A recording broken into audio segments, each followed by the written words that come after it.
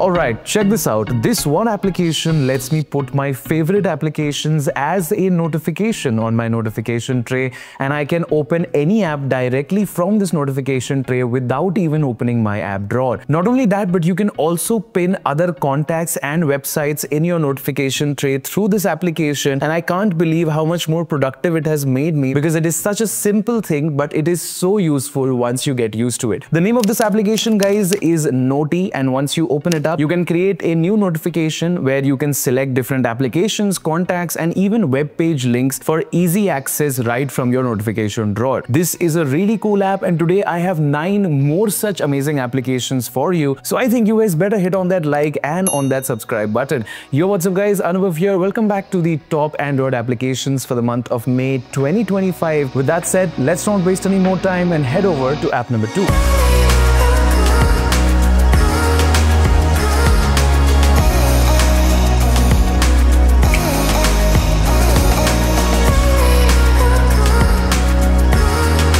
Most of us now are on 5G packs as well as unlimited Wi-Fi, whether it is our workspace or it is at our home. But if you are one of those people who like to keep a track of how much data you are using or you're on a per GB data pack like me, where I can only use up to 2 gigabytes or 1.5 gigabytes per day, then this application called Data Monitor is a very, very stylish way to actually keep track of how much data you are using. Once you open up the application, it gives you a proper graph graph-like view of all the data that you have been using separately on your mobile network as well as your Wi-Fi. Clicking on either one of these is going to open up more detailed statistics about where the data was being used, whether it was on third-party app or on a system app. And inside system apps also, you can see the per app usage of the data to basically dial down what is that app that is taking all of your data. Spoiler alert, I know it's either going to be YouTube or Instagram like it is for me, for most of you guys out there. But, but, but this I still feel is like a more proactive way to actually consciously see how much data we end up using when we are mindlessly doom scrolling on our phone. And I think this is a great app in the way it looks also because it looks very clean, very minimal. Be sure to check this out. I think it'll be really useful for most of us who are always on our phones the entire day. Check out this home screen that I have full of Nothing OS themed widgets. That's right. This is a really cool application with some very heavy duty widgets that not only show me the sunrise sunset counter but also give me my internet speed as well as a note section and two live functional widgets that show my battery indicator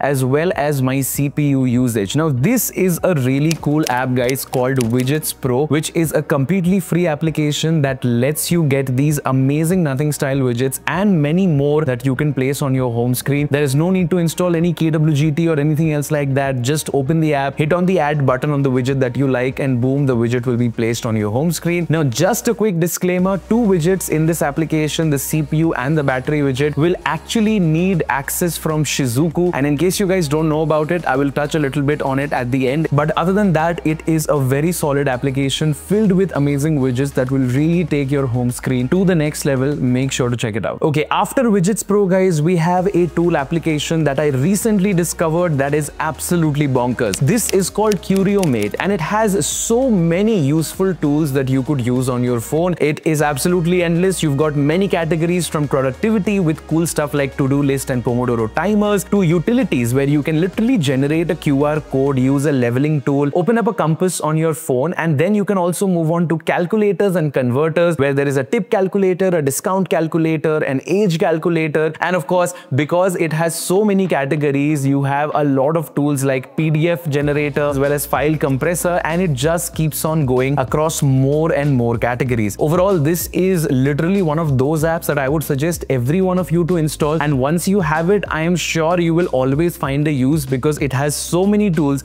at the same place. The only caveat of this application which might put a little bit of you off is the fact that it is paid. However, don't get sad just yet. I spoke to the developer and got you guys 50 promo codes that I will be announcing on my Instagram stories. So if you want one of those promo codes and get this app for free. Make sure to like this video, make sure to hit on that subscribe button and do not forget to follow me on Instagram at the handle below. Okay, so if you're a person who wants to multitask all the time and even do something as crazy as listening to a song in your music streaming app and also watching a YouTube video at the same time, I mean, why are you doing that? But in, in case you want to, I have you covered. This next application is called Volume Manager and it actually lets you adjust the volume of separate applications on a app by app basis. It is really cool and once you set it up, you can basically play as many streams of audio from your phone at the same time, individually control the volume. So let's say if you want to watch a YouTube video at higher volume with some music playing in the background at a lower volume, you can do that. Basically configure all the volume streams of different apps and play them at the same time. Now, just FYI, this app also needs Shizuku to be able to work, but don't worry, I'll show you guys how to activate Shizuku to make sure these applications work at the end of the video. All right, moving on guys, we have an amazing application for all of you that really like to watch movies and new TV shows. This application is called Cineswipe and it brings a familiar dating-like layout to find out new movies and TV shows that you might like. So the first time you install the application, you have to fill in a questionnaire about movies that you've watched before and that you like so that the app gets an idea of what kind of movies to suggest you. After that, you open up the application, go to this card swipe section and basically you can select movies that you want to add to your watch list or movies that you don't like with a simple left or right swipe. And if you like the recommendation, you can put it either into a watch list where you want to watch it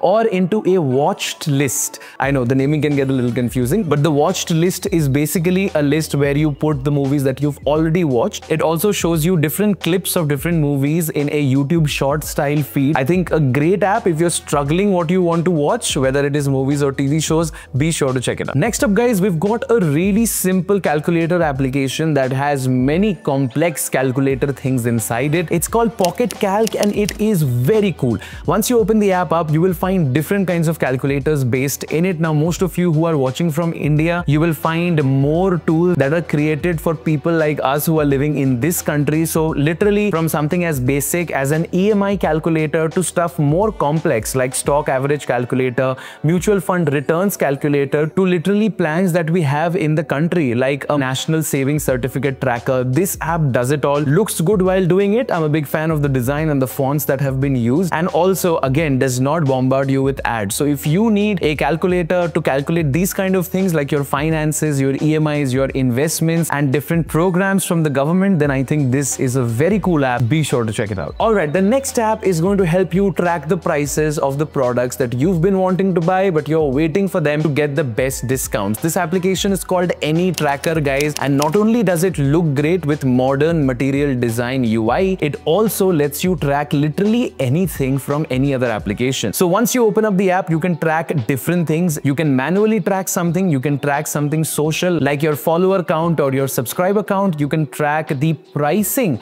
of a product. Let's say you want to buy something on Amazon, just share the link to this application, click on the figure that you want to track and now it is going to show you when the price goes down, goes up so you can buy it at the best time. I was looking for a tracking app like this that lets me track random stuff of the internet and I finally found one which looks good, performs well and doesn't bombard you with ads so make sure to check it out. Insta Archiver is the next app on today's list that lets you download any Instagram video or post directly by just sharing it.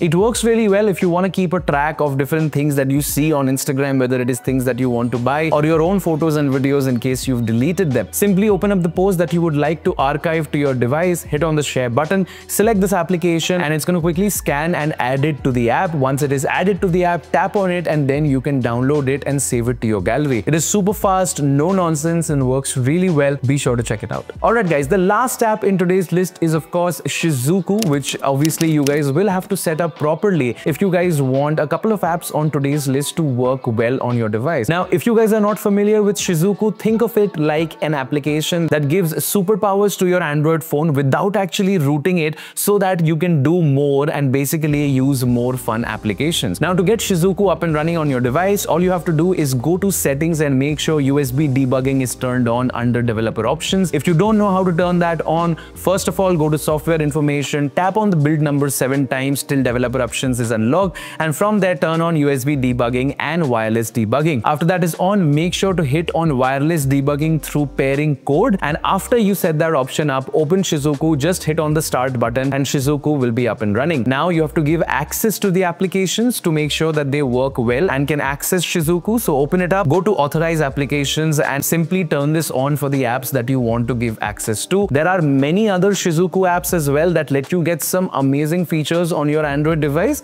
So if you would like me to make a video about just that, let me know in the comments as well. And with that said guys, that is pretty much it for today's video. I really hope that this list of applications gives you guys something to play around with and have fun with till the next video comes of course next month. With that said, ladies and gentlemen, this is Anubhav signing out. I will see you guys next time. You guys have a great day. Take care, stay safe and peace out. Bye-bye now.